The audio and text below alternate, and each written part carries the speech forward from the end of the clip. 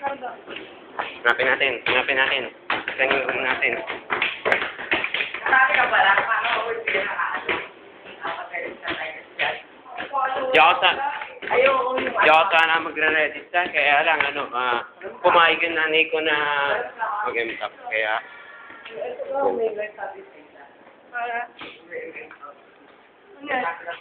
Ah, may.